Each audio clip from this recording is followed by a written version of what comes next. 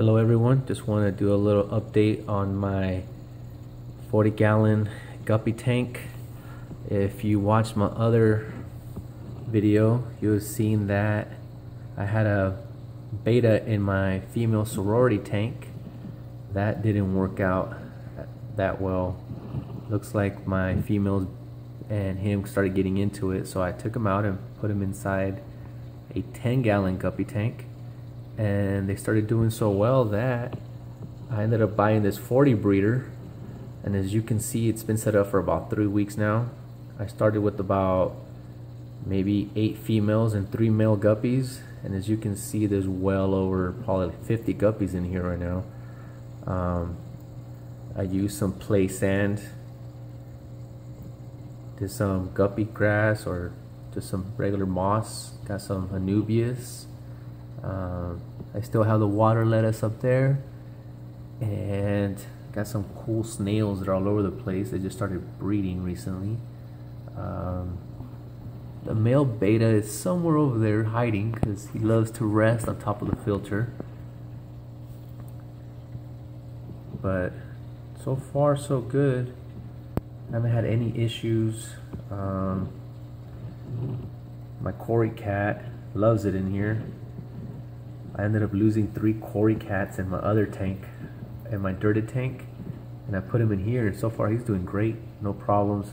He has some buddies in my hospital tank that I'm going to be bringing out after I'm done with quarantine. Let me see if I can see the. Oh, sorry for the glare. Let's see if we can see the male betta. And he is not coming out. Usually, when I stick my hand in here, he comes out.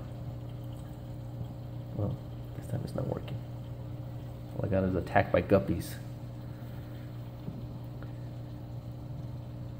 So yeah, they're they're doing great. They love it in there. If you look in there, there's all sorts of babies. Last time I counted them, there was probably about another 25 babies in there. Which I think the betta picks them off too, because, oh, there he is, the guest. Made his cameo he gets along with the guppies. He doesn't really fight with the males. Chases the females around a little bit, but so far he's doing great in there. He's I think he's way better in here than he was with the female bettas. And he looks a lot healthier and a lot happier. He's not as stressed.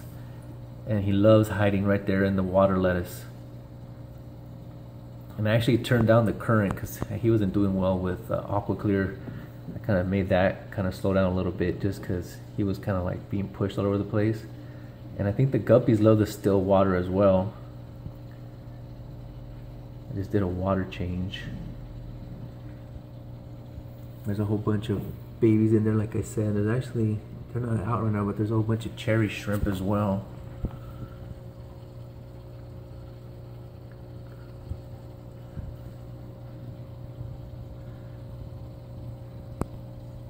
Anyways, there he is.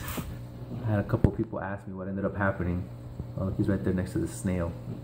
A couple people asking me what happened with my male betta in the female sorority house, and here it is. It didn't work out as planned. He has an awesome temperament. He's not very aggressive, but my females just did not like him. They were team up on him and just, you know, nip at his um, fins, and I didn't want him to get hurt. As you can see, he's a good looking betta and he just, he loves swimming with the other fish. He often goes and hides inside right there, that pot.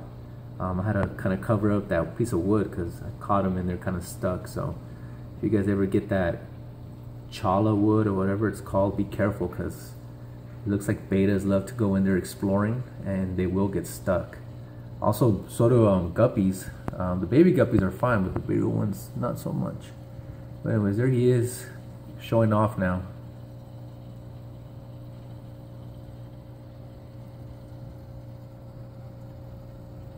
Anyways, thank you for watching. Let me know if you have any questions.